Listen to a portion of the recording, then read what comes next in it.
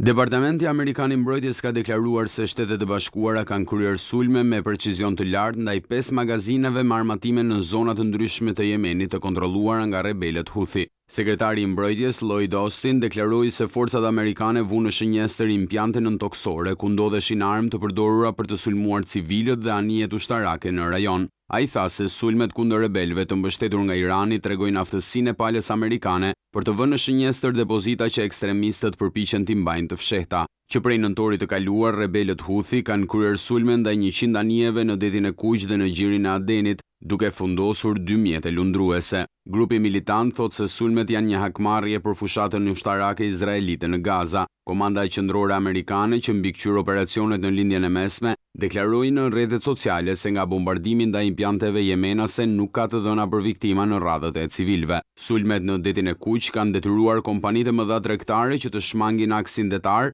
duke prekur kështu tregtinë ndërkombëtare. Sekretari Austin shtoi se Shtetet e Bashkuara do të vazhdojnë t'ua bëjnë të qartë rebelëve se do të përballen me pasoja për sulmet e tyre ilegale dhe të papërgjegjshme.